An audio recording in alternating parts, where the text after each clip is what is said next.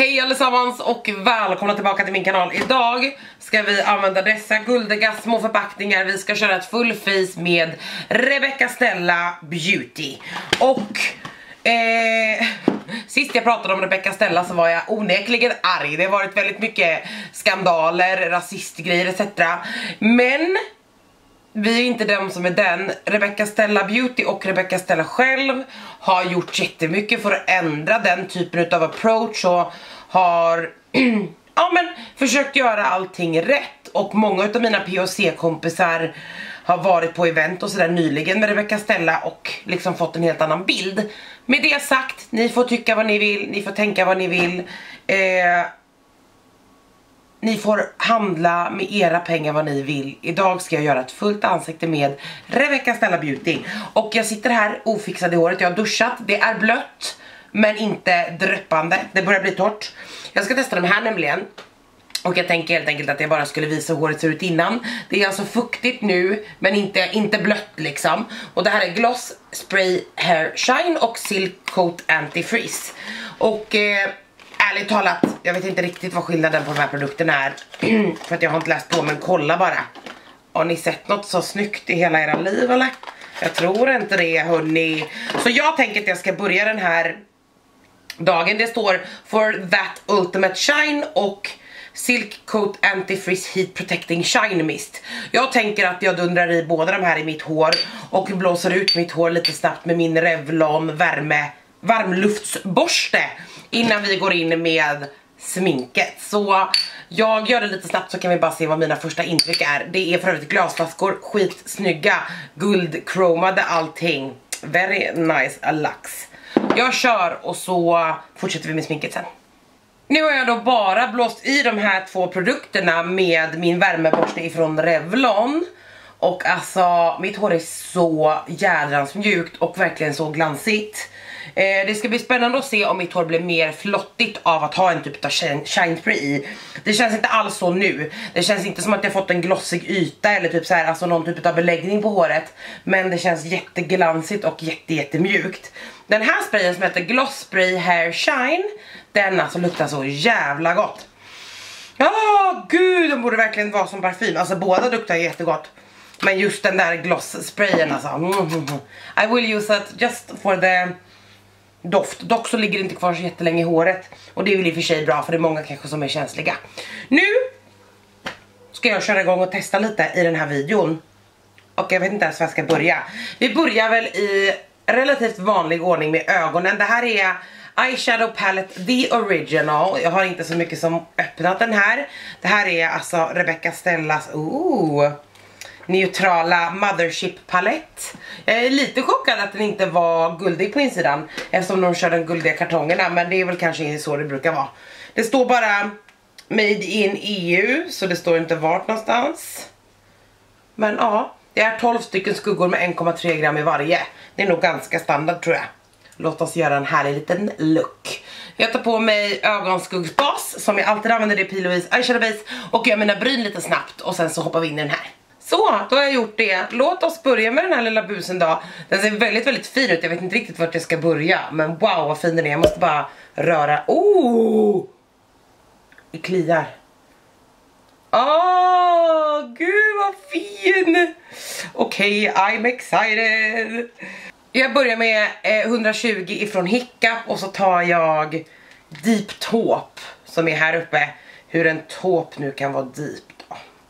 That's not how it works. Okej. Okay. Väldigt pigmenterad. Det kan jag säga direkt. Shit alltså. Packa på jätte jättefin den här mörka bruna Deep Taupe. Eh, och eh, bländar alltså i kanterna direkt. Superfint. Lägger sig jättevackert. Inte ett dugg fläckig. I'm intrigued. Och sen så packar jag också på den här inre delen eftersom jag vill göra ett half cut crease idag tror jag. Så jag packar på den inåt. På mig blir den här färgen nästan lite åt det lila hållet. Fenomenalt fin, alltså verkligen så himla fin eh, mattskugga. Eh, det här börjar ju riktigt bra det här testet hörni. Ni kommer få ett litet wear test idag med så ni kommer få se hur det här ser ut under dagen. Men alltså wow. Eh, Deep Top var ju den jag gick in med, nu går jag in med den som är nedanför som heter Milk Chocolate. Och en pensel ifrån Spektrum och eh, KJH-sättet som heter, eller nummer 19 och blända den här precis över för att mjuka upp den här. Inte för långt upp, inte för intensivt, jag vill ha det här mörka kvar men ändå för att mjuka upp den uppåt. Den här bländar också fantastiskt fint och väldigt enkelt. Jag vet inte varför jag är chockad men jag trodde faktiskt att eh, ögonskuggorna inte skulle vara så himla trevliga. Jag har inte hört så jättemycket om dem och det brukar tyvärr tyda på att de inte är så himla omtyckta för om folk tycker om dem så brukar de i regel användas lite mer. But it looks really nice. Sen tar jag en stor fluffig pensel, just den här är från Morphe och bländar längst upp innan jag bländar klart skuggorna emellan. Så ser jag till att det är mjukt längst upp. Alltså wow, de här var också jättefina ihop. Jag tycker att den eh, mörkaste här då, Deep Top, är ganska lila i tonen och det gör väl ingenting men jag, eh, ja, den är jättefin. Det är väldigt många fina skimmer här i som jag vill hinna använda på det här locket så jag tror vi kommer skära ut ganska långt ut. Men jättefint verkligen. Bakom kameran nu, för det är omöjligt att göra när jag pratar för då skakar jag för mycket, så skär jag ut ett, eh, ja, ett halvt cut crease och det gör jag också med en Spectrum KJH nummer 14. Och eh, skär helt enkelt ut från inre delen ungefär lite mer än halva locket utåt. Så, nu har jag skärt ut det där, det var inte så himla lätt och jag var tvungen att byta batteri. Någonting är fel på min kamera tror jag. Eller på batterierna som jag har för att eh, det går inte att ladda dem. Jag vet inte vad som är felet men jag rer nog ute. Nu ska vi ta lite skimriga skuggor och jag tror vi ska börja med Glam Gold som är här. Den ser så jävla fin ut. Den är så mjuk, det bara ramlar. Åh oh, gud! Oh my god! Kolla! Vad i helvete vad fin. Det här är det sjukaste jag sett på länge. Men ser ni vilket jävla pigment, vilket sjukt duochrome. Den, bara, den är som smör. Jag är i chock. Holy shit. Jag tror att jag kör den där nästa nu, Beige Dream som jag swatchade i början av videon. Jag vänder bara på penseln. På insidan. It's so nice! Oh my god, de här skimren är inte att leka med hörni. Jag brukar inte säga det direkt i videor men holy shit den här paletten är så himla fin. Alltså, jag vet inte när jag testade en så här trevligt skimmer. Kolla mina ögonlock. Alltså de är som smör och de går på typ som en flytande skugga. Jag hoppas att de här sitter lika fint hela dagen. För då har vi en vinnare. Holy moly. Jag tar den stora fluffiga som jag använde förut och så den mörka då. Och ser till att, eh, jag brukar säga att man tofsar kanten. Alltså att man bara stampar lite med en fluffig pensel. För att få den här riktigt mjuka men alltså de här skimren är helt otroliga. Det här är sinnessjukt, ärligt talat. Jävlar så fina. Verkligen helt vansinnigt fin ögonskuggspalett. I'm very excited. Vi har ju foundation, concealer etc. Men jag har ingen... Eh, eh, inga fransar, inga andra ögonprodukter. Så jag går och tar på det och låter mina kamerabatterier ladda lite grann. Och sedan så kör vi en face makeup. Alltså jag är lite i chock just nu, jag är inte lite i chock. Jag är mycket i chock. så jag går och verkställer det och sen så eh, kör vi basen. Okej hörni, nu ska vi rulla på med foundation och jag har köpt den här i två stycken färger och jag har inte så mycket som rört, eh, eller jag har inte öppnat kartongen ens. Jag vill för övrigt säga det, jag ska bara se vart den är någonstans, jag är tydligen helt blinda nu. Jag har de här fransarna på mig, ni brukar fråga så mycket när jag har de här på mig. Det här är Studio Effects från Ardell, deras Demi Wispies. They are really nice. Låt oss se. För det första kartongerna är samma då som de här tidigare. Okej, okay, glasflaska. Jag har köpt de två ljusaste om jag inte missminner mig. Eh, det är nummer eh, ja, 01 och 02. Det är ett ganska stort hopp. Det får man verkligen säga. Eh, men inte ett jättestort hopp. Vi ska se här hur det känns. Oh, pumpflaska. Pumpen är nice, känns inte billig. Och eh, oj oj, nej det var inte ett så stort hopp faktiskt. Nu när jag väl, jag skulle säga att nummer 01 är mer gul och 02 är mer neutral eller kall. Den är lite mer peachy så jag skulle nog ändå säga att den är neutral. Det är inte ett jättestort hopp men ändå en liten bit ändå får jag ändå säga. Eh, fin, doftar en hel del, mm, inte parfym dock tror jag utan jag tror att det bara är formerna som doftar så. Vi får se vad som händer när vi sätter på den på ansiktet. Jag är ganska säker på att det är nummer 01 som kommer passa mig bäst. Jag drar ut eh, en pump på varje sida. Alltså jag älskar verkligen foundationflaskan. Det påminner mig extremt mycket om Too Faced flaskor faktiskt. Eh, och de är väldigt fina.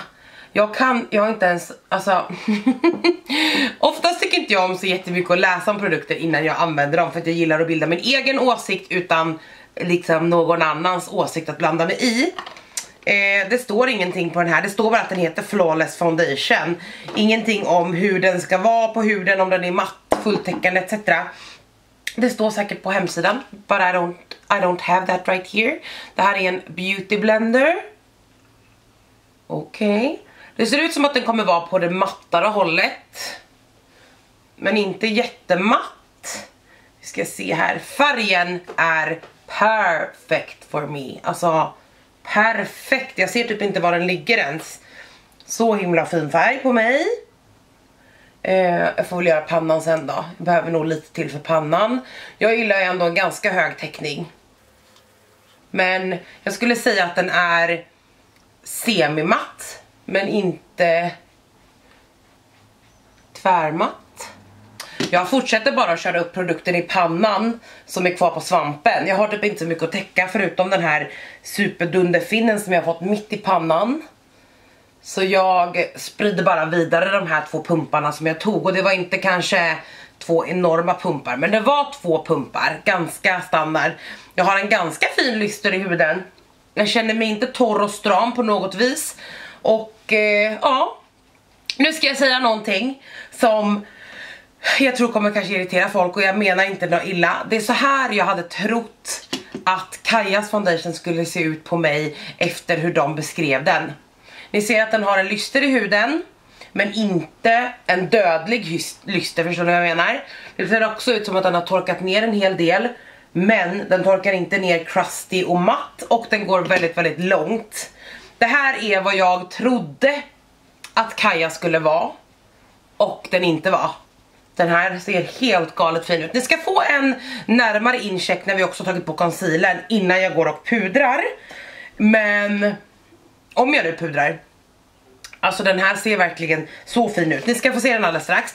Jag har testat Rebecca Stellas concealer tidigare. Jag köpte färgerna allihopa när de släpptes. Testade i en video, det finns alltså en första intrycksvideo här på kanalen när jag testar dem och jämför färgerna.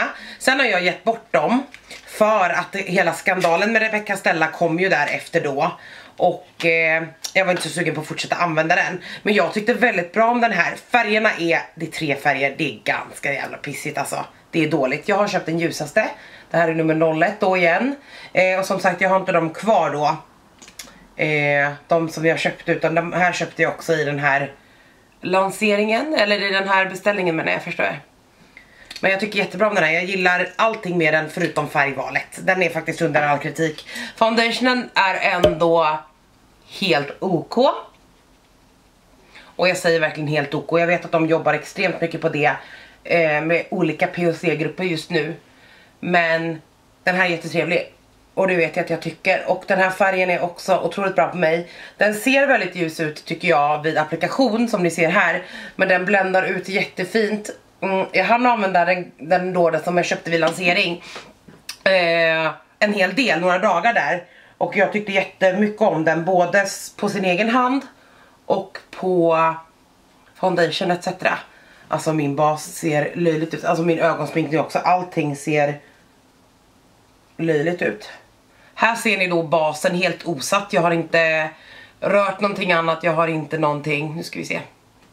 Den har en jättefin lyster i sig sitter fint, har inte hakat upp sig speciellt mycket på mina torrfläckar runt mun, på här och så. Utan sitter jättefint på huden.